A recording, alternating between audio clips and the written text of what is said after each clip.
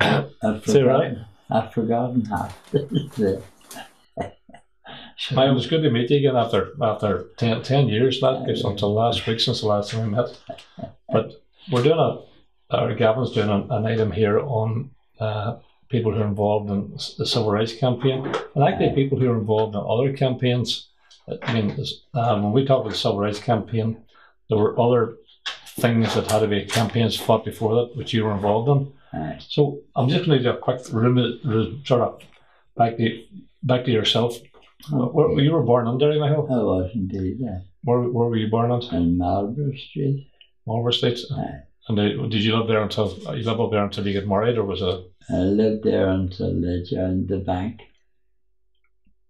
And uh, then had a career in the bank. What what bank did you go to? The then Munster and Leinster. All right, I. I didn't know that. So, I was uh, there for about seven years. so uh, obviously you were on Rosemount area. So was what school did you go to there? Uh, Rosemount Boys. Otherwise, uh, well, uh, then uh, what was? Do you go on to after the primary school? Where did you go on to? St. Columb's. So then, you, what you done your you done your? Did you go straight out of St Columb's then into the, into the banking? I didn't do that. And were, were you based in Derry or were you No, based? I'm based in Ballina, County Mayo. Did you? At that time, Ballina, County Mayo must have seemed a, A million miles. just about a million miles away. they couldn't even uh, speak the same language because they had a Western tang that we never had. So long do you stay down there? Seven years. So was that your full time in the bank? Aye. Did you leave the bank after that? My father, who ran a series of betting shops, he, uh, what happened then? He got sick, couldn't continue working, and he asked me would I come home and run the business, which I then did. So you, you ran that for a number of years, did you? Aye, a few years. Well, that was the business side of it, but in between, uh, I mean, you, you raising a family then shortly Aye. after that. Aye. And, uh, but campaigning, how did you first get involved? I mean, because I, I know you, the person who's involved in social issues for many, many years. That's right. uh, And the first memory I would have of you would have been back in sort of 64, 65 that time. That's the, at the time of the first university crisis. So how did you get involved in that? Uh, I was friendly with uh, John Hume and a couple of other people, and John was leading the fight to have the university in Derry. But he got nowhere. They planted it almost immediately in Coleraine, and after that, it was a tug of war between the two places. So, I mean, there was a lot invested in that time by people, John, yourself, and others that, you know, that it was a very, very public exercise and very public demonstrations. Oh, But- but- But did you feel hope at the time that, Oh yeah, you know. Neither of us uh, had any uh, contact with politicians, and the only move then was into uh, the University for Derry campaign, and that lasted about a year before the government planted Coleraine as a university town, and both universities were then uh, competing with one another.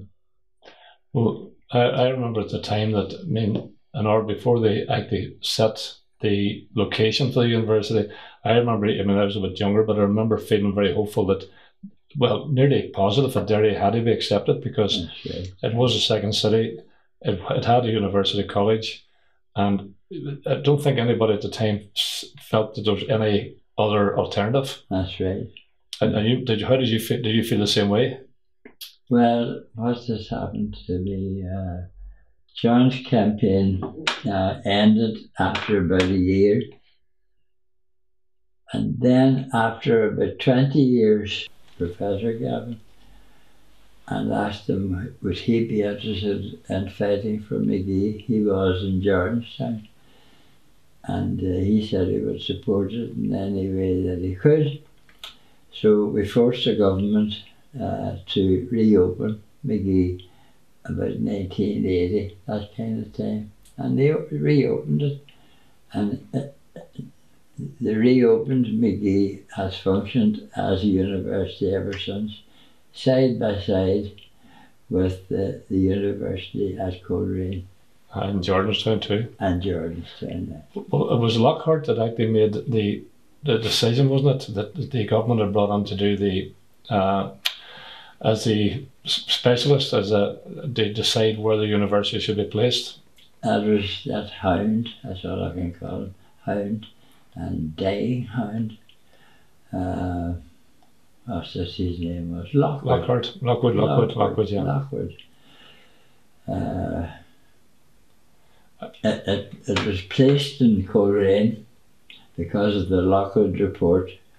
But as I was telling you, Lockwood was half dead before he got to write the report.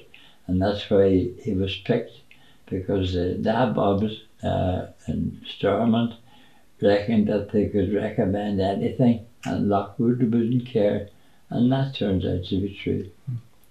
So I, remember at the time, and I said it must have been a great disappointment to you because you were personally involved. I, You know, it made, I, I remember at the time uh, the, the town feeling it, But then, uh, if I remember right, it wasn't the fact that it was outside people who actually campaigned against against Derry. There was others as well within the city. Oh, there was surely. They were called the faceless men by the Derry people because they were uh, at- one remove they were shouting for Derry, and then at another remove they were shouting for Coleraine. Was wasn't was it Jones? Was it the MP at the time He here? was. He did nothing at all, for or against. Did he not? Whenever it came to the, the actually the vote in, in Stormont, did he Yeah. not actually vote with the government for He Korea? did. He did. Uh, But uh, I remember uh, lately they've actually come across some paperwork that shows that he was actively campaigning against and the, the unionist, you know, the main politician in the town, uh, the, and I- I'll not name him here now, but uh, we could name him because it's Jerry Glover's and that, they're dead. And the papers have shown now that they were actively telling the government they didn't want university in that's Derry. right. That's right. For the good old reason. The good old That Terry remember. benefit the Catholics. Yeah. So the uh, so the university was placing, and then I mean the campaign went dead. Everybody was deflated at that time. Aye. So, but then in, in between times, you, were active in other things. You, you got active, and uh, you, did you start a a, a business and uh, a fish business? That's right, John and myself.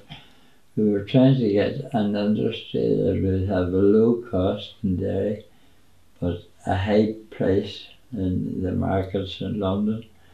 And we started working on this smoked salmon factory. It got to be quite a good size. We were sending uh,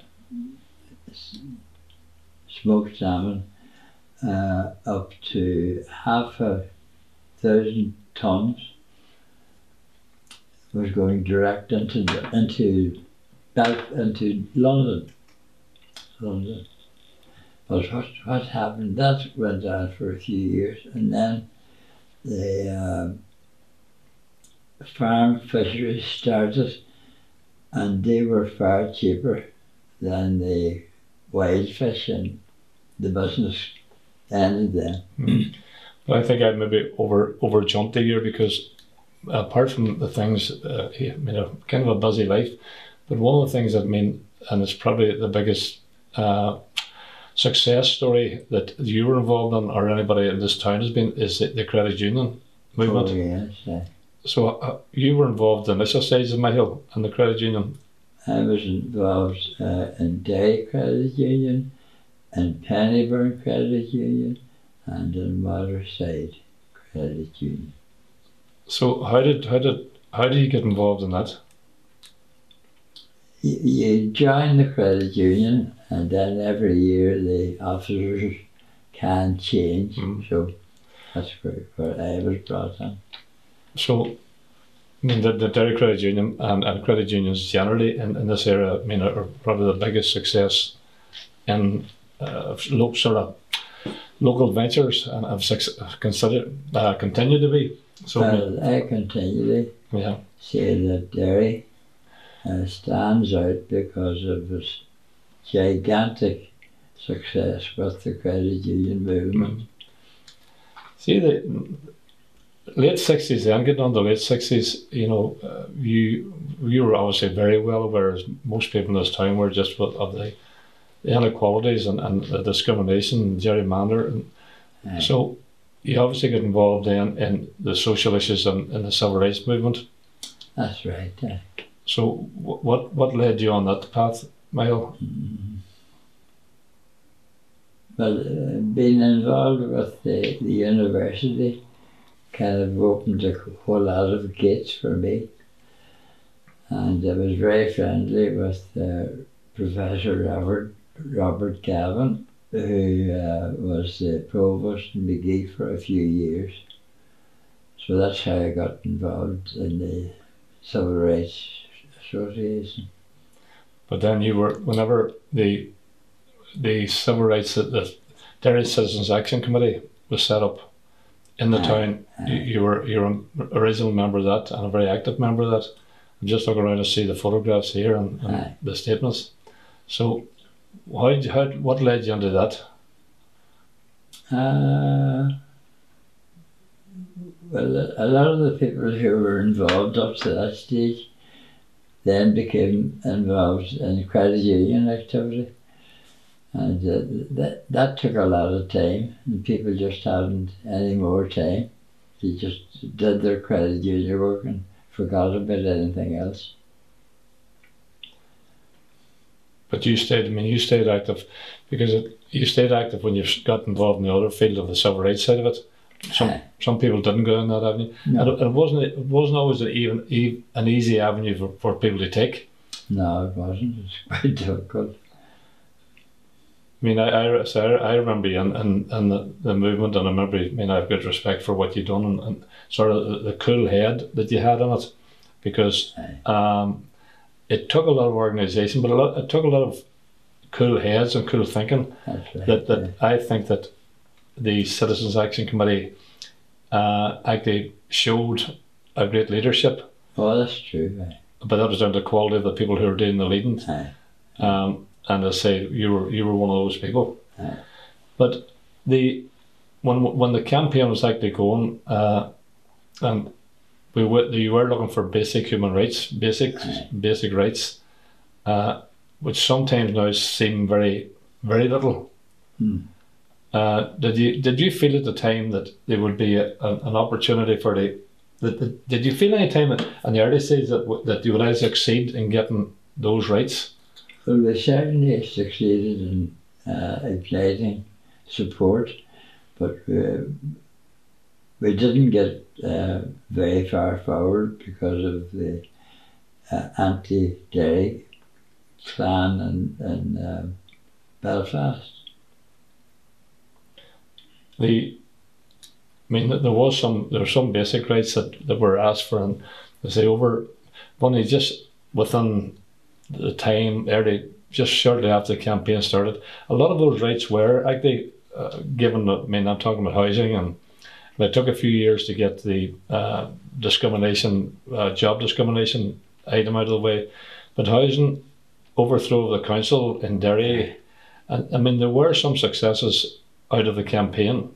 Well, there were, of course. Uh, after the, the when, when the uh, civil rights movement started and gathered weight, uh, for example, as a result of the civil the, civil rights movement, uh, housing was was always a, a huge uh, disadvantage for Catholics.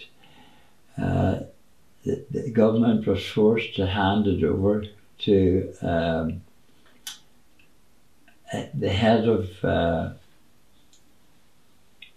the head of uh, a, very well known man in the housing market in his own right. I forgot his name now. He was very well known. I remember that. in, in the housing. And They handed over housing and a number of other things as a result of the Citizens Ac- Action Committee March, what you're talking about there, Ian, and then they had a, well, they, they set up the housing executive, it? But then the, the other one was that they actually, he actually succeeded in getting the council in Derry uh, abolished. That's right. Uh, well, it, it had to go because it was run on uh, sectarian lines, and Catholics never got what they were entitled to. So this was an attempt to change that. The the the, the board is gerrymandered. I mean, that's how it was run, and the way it was run uh, couldn't uh, deliver uh, a, a Catholic majority, even though there were Catholics in the city. Uh, the gerrymandering system meant that the Catholics could never achieve any kind of uh, progress in housing. Sorry, in uh, what what do we call it? In the And the the the oh the council they could never. I mean, there was no there was no jobs. I mean, there's no jobs and there was no no houses being allocated. That's right. to, yeah. because of uh, on a religious basis. But then, I mean, after that period of time, then '69 was a big change in point when the, the violence came in. Aye. But remember, I think were you involved? Were you involved in the citizens' defence? Oh, well, sure, Yeah. yeah. What, what, was your time like on it? Have you plenty of time? Ian? Hey, Have you plenty of time? oh, I have plenty of time. plenty of time.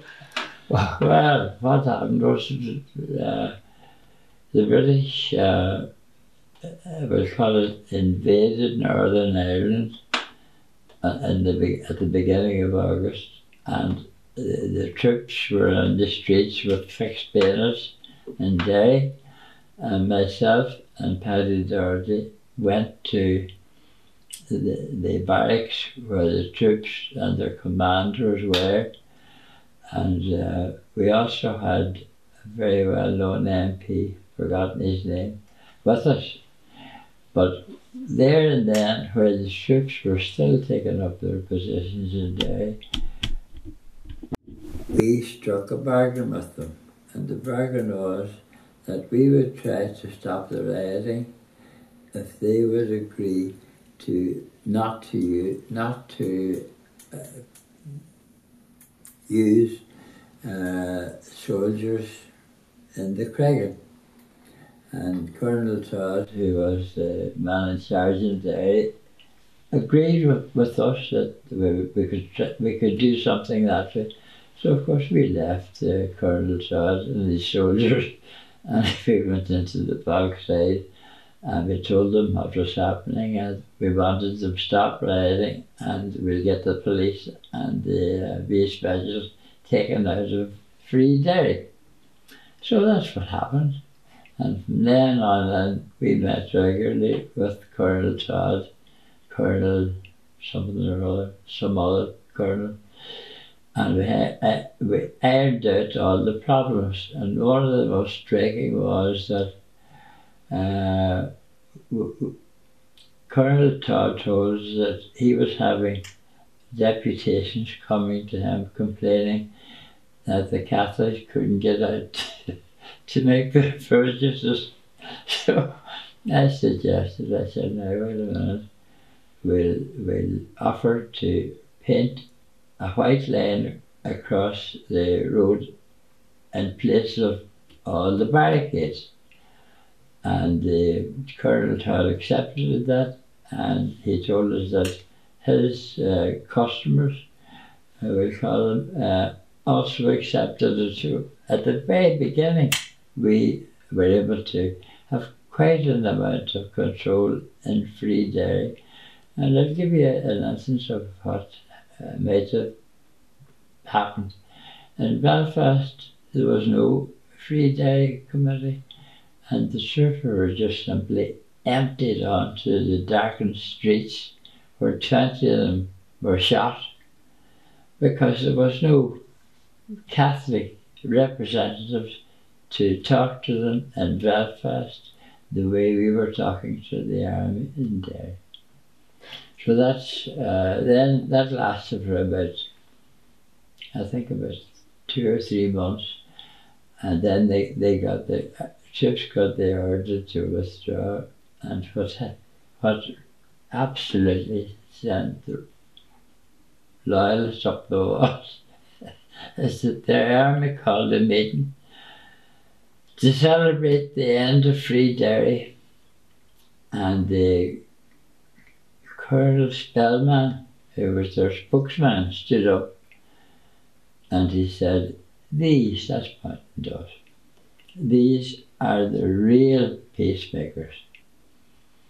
So that finished them. But our, uh, our uh, activities, uh, as we said at the time, our activities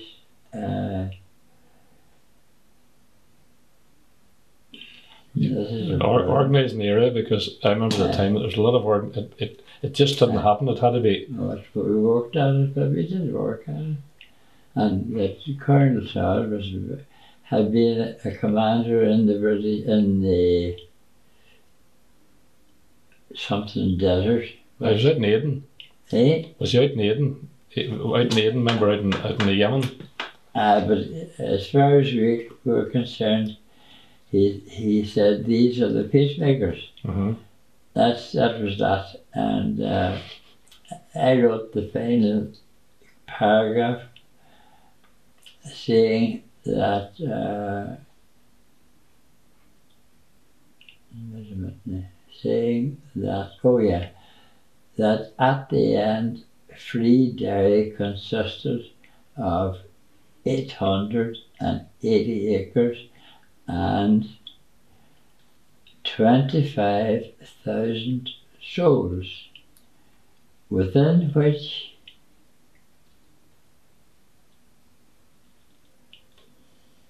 within which uh,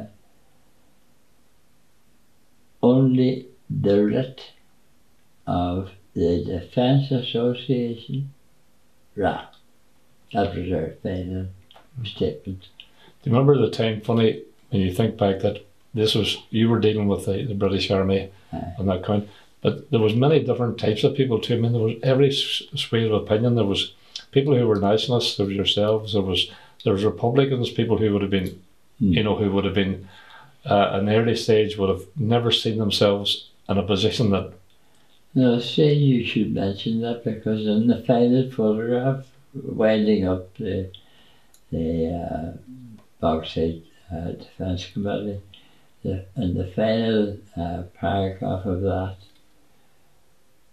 how did you say there? You said something that oh, there was pe- people from every different Republicans, there was Aye. nationalists, there was uh, no, there's something Yeah. else. I forget what the, that was the end of it anyway. But there was people who you- who you wouldn't have ever imagined would have had themselves in negotiation with the British Army at that That's time. now you've sparked it off again. Uh, and the photograph that I was talking about with the army men and us, uh, aye, one of the four people who were photographed for the newspapers now the next day were Sean Keenan, who was head of the IRA in Northern Ireland. Uh, when I look back at it, you, you know, it's hard to believe now that when you look back at that and those photographs Aye. and, and, and find that it was such a strange time that people of that the, uh, of that sort of belief Aye. could be pragmatic enough Aye. to have a discussion with the British Army. Oh, was. we didn't. We were a bit uh, concerned about what would happen if it went wrong. we would probably have been hanged to the nearest, nearest lamppost, but we did it anyway. Pat, Pat, I want to tell you, Paddy Doherty was an absolute gem. He was extremely loquacious. He followed everything with the avid interest, and he never stopped. never stopped. And he, Paddy was one of the founding members of the credit union. That's right. He was along. As I'm saying that along with yourselves, he was one of the founder members. Emma Eiling, his He wife. was, that's his Mhm. wife. I Mhm. think, if I remember rightly, they had eight pounds contributed between the- the whole of them. And they were stuck because they had to get uh, another pound. And they said, hold on, I'll give you the other pound. Ah. She did. There was- That was Paddy Doyle. Mhm. But then at that stage, then that that- that he became political. Then, I mean, I think you supported John Hume and, and Oh, Ivan God, that, I and- sure did. at that time. So, Aye. was there a decision made then that that street protest thing had done its time? It just happened. You know, it just we moved into another phase. So one phase ended and another phase started. So, but I, but I know that although at in the early stages you wouldn't have been the front face, but I know that you're always you're always heavily involved in advising. I was. Uh, And I say, that was obvious to me and, and others who, who knew. But uh, it, it was a feeling at the time we had to move on to a political. We, we had certain rights now, and there was a feeling then we had to move on to a, a political level aye, in order to sort of consolidate it. rubber stamp. Yeah. Aye. So, uh, John John won for election, and Ivan all won for election at that time. And me. And you? really. You would have for election too at the time. Uh, so, what was were it? elected. That's right. Uh, so how did you find that? There was a 19. How did you find that experience, Michael? I'll tell you the truth now, eh, we had to go to Belfast a couple of days a week, and I hated every minute of it. And you, we were in enemy territory, we would get nothing, and we might lose all. So it was funny, funny kind of a thing, but it worked out. all right. Was it a very was it very were very alien when you went there? Oh God bless us, of course it was. So But we made it known that we're going to be like that, you know, when we ran for election. We knew that if we won, we would be active with these people. but but you, you knew there was going to be no cakes or Ah, any no, we if you come on. We knew that. They did at the early stages. Could, could they not find you know the unionism didn't even try at the time they No. to Well, it wasn't they didn't try, but they tried very They're- hard for their rights and nobody else's. Same way as they are now. So then you, you spent a bit of time. It was assembly, wasn't it? And at that time was the Northern Assembly. Aye, but it got nowhere and did nothing. Yeah. So, the the uh, then you were you were in the Derry Civic Committee. Aye. That was the Magee thing again, was it? That was the Magee thing again. Aye. So So we're, we're really fighting that battle over and over and over again. Yeah. see that well on the present day. Then I mean I, I know you're still active on that, and you're still you- you're still active in campaigns. What's your What's your thoughts now on Magee, Michael? Because I say that's one of, I think it's one of the biggest challenges we have in this area. It's the biggest. Yeah. I think. So- Well, What's what's your Okay, I think hopes or I'm- thoughts on it now? just that uh, w- we have made some progress in the sense that there's four and a half thousand students, uh, and we have to continue to build to get the operating number, which would be up to uh, 10,000. But it's going to be a hard battle, but it can be done. Where do you, where do you feel the, the hold up was, Michael, in that process? Uh, well, it was quite simple. It's where it always was. I mean, Co- Coleraine, Coleraine was simply thrown in to counterweight Magee. That was the only reason that uh, Coleraine was founded. And uh, it, it now gets preference over Magee in many fields. But that doesn't mean that we're going to give up. So- we're not. So is, is there an, an active group now still campaigning for? There's For Magee? only, there's only a, a, an active group working at the coalface of the university to maintain what we have and build what we need. hmm Is there not a political will then? Is there not a political will sort of uh, generally for Magee? What, what's stopping the political will for Magee uh, being developed? It's, it's, it's just that uh, many of the Magee courses have been transferred to Coleraine, and uh, Magee doesn't get, isn't allowed to use its wit. So until that changes, uh, nothing is going to happen. But when you say use its wit, what, what do you mean by use its wit?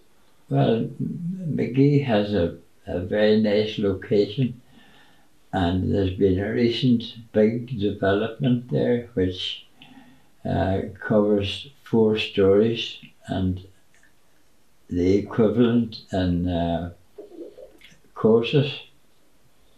So the, the springboard is there, but we do need uh, all the help we can get from the government. And we don't have a government. even worse, we have civil servants. I don't think there's any powering in those civil power sharing and those. Uh, Well, see in the last, see, bef- see before the present, sorry, the last um, government fell in Northern Ireland, uh, wa- was there no active uh, part by government to, to uh, promote Magee? oh, there, there has never at any stage been any action of the government. But sure, there was different parties. I mean, there's uh, I can understand unionists uh, have always felt the, the reluctance to involve it, but I mean the, the Sinn Féin were there well, and they, they had should have equal say. So you, you would have thought that they could have promoted that as a part of their red lines. well, uh, I'll give you two instances of what uh, Sinn Féin are responsible for. One is that Martin, the late Martin McGuinness, and what I call that girl? Uh, what's her name? The, the, the present Aye, Michelle aye, what do they call Michelle her? O'Neill. No, no. What do they call her? She's the Foster. head of the DUP. Oh, God, Arlene. Aye, Oh, Arlene, right, right. what did they say there? Uh, I was, what did you ask me there? I was, I was wondering why the Sinn Féin had an equal say in the government. Mm. Why did they not use that uh, locally in order to, to promote Magee? They never have, and people who are closer to the operations of Magee say that they never will. But But surely, uh, I, I would point out to you, uh, Aidan, that uh, when the row about the fire business uh, got going, they wanted to keep it quiet. yes, uh, the RHI, they don't, they, uh, the Sinn didn't want it, didn't want it made public. which, in my opinion, was an atrocious lack of responsibility that they conspired with uh, the DUP to keep it quiet. Mm. And I, I have no indication up to now that there's any change in that situation. They wanted to quieten everything down, aided by the DUP. So even they So that ends that. uh, so even they go back on the, even uh, the, the government was restored, you have no great faith that they're going to have any, any active uh, role in No, Magee. they'll go back to what they always did. Sit up on top of Magee and yap about uh, education, but there'll be no movement on Magee unless something else happens to bring that about. well, after so many years, Michael, it's it's been a pleasure meeting up again after this. But a couple of times, and it's always, always been a pleasure. You know yourself, always ah, have sure, respect for yourself. I know, I remember vividly uh, you being in mm, the President's Palace. Oh, with- time of uh, the Ar- rest Arson of- O'Donnell. Aye. That's right. Ten years ago. Yeah. The, uh, but say thanks very much, and I say Gavin, well, thank you again for taking the time, and uh, it's been a real pleasure on my part meeting up you again, and hope we meet again along the way. Oh, We will meet along the way, anyway. I'll be looking forward to that. Big Nay, man, thank you very much. Always a pleasure. Always a pleasure. thanks pleasure. very much. Thank you, Gavin. You're right. This is not my role normally, but I don't know, we have to make it, to make it power permanent. hey, You're very good. You're very good, isn't he, Michael? Oh, terrific. You got the sure, yeah. rehab, you're stuttering away. Aye, On. I don't believe this, it. So, one, two, three.